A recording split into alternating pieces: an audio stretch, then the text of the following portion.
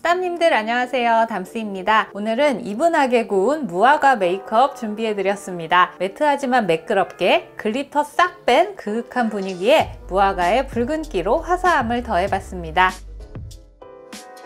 언제나처럼 눈가 커버 후 아이 메이크업부터 시작할게요. 오늘 사용할 섀도우는 삐아 초코비 에디션 팔레트입니다. 노란 브라운 아니고 초코 브라운 variation 핑크 베이지 컬러로 전체적으로 음영 먼저 깔아줄게요. 습식 파우더 제형이라 매트 shade도 텁텁함 없이 흰기 덮는 느낌 없이 음영감이 너무 예쁘게 들어가더라고요. 언더까지 넓게 발라놓고 핑크 브라운 컬러로 메인 음영을 넣어줍니다. 발색 되게 괜찮죠? 눈두덩 주름도 살짝 blurring되고 어, 삐아가 이번 섀도우 질감을 정말 잘 뽑았는데요. 네 번째 컬러는 납작하고 날렵한 브러쉬에 묻혀서 눈꼬리 라인 빼면서 언더 삼각존 그림자처럼 사용하겠습니다. 이렇게 눈가 가로 라인을 길게 확장시켜 놓고 가장 진한 브라운 컬러는 언더라인에 사용할게요. 앞머리 시작되는 부분에서부터 점막 바로 밑으로 얇게 왔다 갔다 하면서 선명하고 깔끔하게 채워줍니다. 확실히 습식이라 가루 떨어지는 거 거의 없이 라인도 깔끔하게 깔끔하게 진짜 잘 그려지네요. 라인은 눈꼬리까지 닿지 않고 삼각존 음영과 연결되면서 싹 사라지는 정도로 표현했습니다. 핑크 브라운으로 라인 경계 부분 아주 얇게 풀어주고요. 아이라이너는 두꺼워지지 않게 얇지만 또렷하게 그려줬습니다. 섀도우가 노란 브라운이 아니기 때문에 브로우 펜슬도 노란기 없는 자연스러운 브라운 컬러로 그렸습니다. 자연스러운 아치 형태로 그리고 속눈썹은 11mm로 붙였습니다. 블러셔 컬러 화려한 거 쓸 건데 눈가 음영 음영이 은은하니까 속눈썹으로 충분히 포인트를 주는 게 좋겠더라고요. 힌스 신상 컬러 스틱 써볼게요. 한쪽은 되게 부드러운 크림 스틱, 한쪽은 얇은 라이너인데 이것도 질감 되게 좋더라고요. 저는 보시다시피 눈 밑에 주름이 많아서 크림 스틱 잘못 쓰면 시간 지났을 때 갈라짐이 엄청 심하거든요. 근데 이건 되게 스무스하게 잘 그려지고 초반에 뻣뻣한 감 없이 블렌딩도 되게 잘 되면서 고정된 다음에도 바짝 마르면서 갈라지지 않더라고요. 매끄럽게 유지가 되게 잘 됐어요. 애교살 그림자 컬러도 같이 썼을 때 자연스럽고 특히 무펄이라 오늘 오늘 같은 메이크업에 매치하기에도 좋았습니다. 자연스럽게 살아난 깔끔한 애교살 볼륨 여러 가지로 마음에 들었던 제품이에요. 요거 완전 추천. 본격 베이스 파운데이션은 요즘 제 최애템 맥 파운데이션 사용했고요. 참 신상 백화점 파운데이션 블라인드 테스트가 한창 진행 중입니다. 11월 초에 이 결과도 많이 기대해주세요. 쉐딩은 평소처럼 외곽 라인 먼저 눌러놓고 브러쉬 잔량으로 얼굴 안쪽으로 그림자 넣어주는데요. 가을 겨울 옷은 색이 차분하다 보니 여름보다는 좀 더 쉐딩을 깊이감 있게 넣어서 너무 얼굴만 하얗게 떠 보이지 않게 해주세요. 블러셔는 헤라 발레틱을 훌렁한 브러쉬에 묻혀서 얼굴 외곽에서부터 안쪽으로 따뜻한 기운이 들어오듯이 넓게 넓게 발라줍니다. 헤라 블러셔가 제형이 좋아서 베이스 블러셔로 먼저 깔아줄 때 정말 유용해요. 이 위에 또 블러셔 올려도 안 텁텁하거든요. 이렇게 전체적으로 살짝 발그레한 핑크의 기운을 넓게 펼쳐놓고 구운 무화과 무드는 구찌 로지 베이지. 이가리 메이크업 느낌으로다가 눈가에서부터 붉은 기운이 흘러나오듯 터치. C존을 감싸며 눈가까지 연결. 이거 색감 되게 묘하고 예쁘죠? 디올 누드록보다는 좀 더 브라운의 느낌이 있으면서 색이 너무 뻘겋거나 주황기 올라오지 않고 딱 예쁜 무화과 무드로 쓰기 좋더라고요. 구찌 블러셔의 맑은 텍스처까지. 질감 진짜 끝내주죠. 브러쉬 잔량으로 코끝,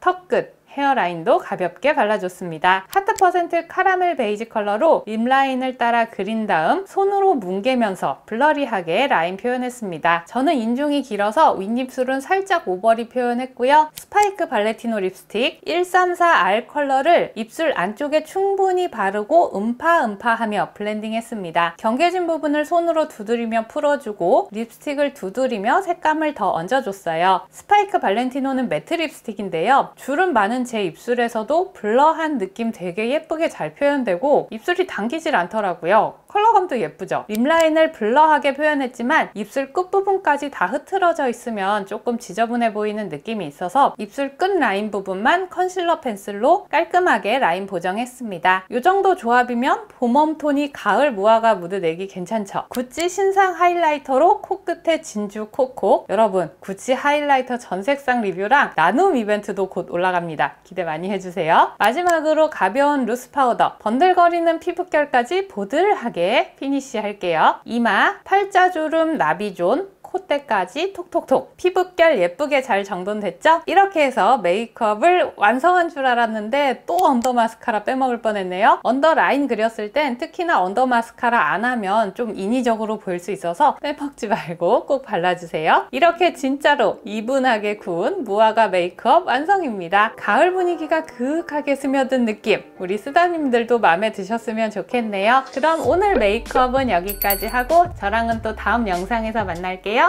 구독, 좋아요, 알람 설정하고 만나요. 안녕!